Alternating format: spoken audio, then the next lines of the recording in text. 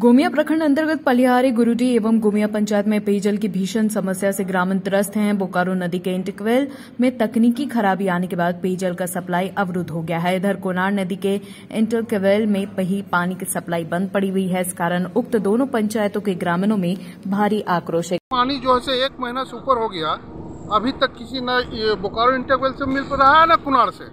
और इससे जनता त्राही त्राही हो गया आज हमारे घर में आकर के और संदीप कुमार को बुलाया कि आकर के बात करो फेस करो।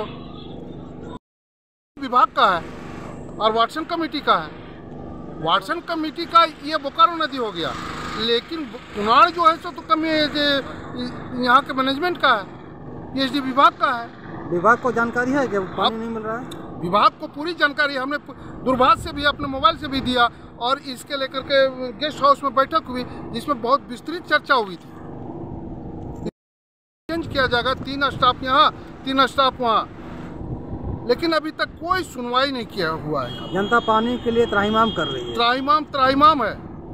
ये यदि आईएल का पानी नहीं रहे यहाँ की जनता मैंने प्यासे मरेगी। बोला है वाटसन कमेटी को तो वाटसन कमेटी भंग करो और फिर से वाटसन कमेटी का निर्माण करो और सभी वार्ड का बलियारी और गोमिया में जितने वार्ड हैं सभी को उसमें रखा जाए। जो उसका सदस्य है उसको।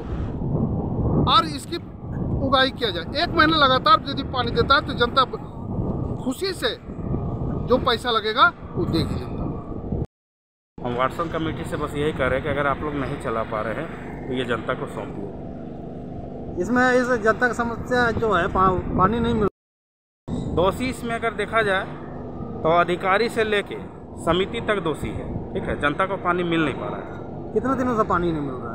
इधर तो विगत एक माह से पानी बंद है और उससे पहले पंद्रह दिन बीस दिन में एक दिन पानी मिलता है। क्या नाम आपका? संदीप कुमार सोरकर ग्रामीणों ने कहा कि पेयजल के सप्लाई को शीघ्र चालू नहीं किया गया तो उग्र आंदोलन किया जाएगा।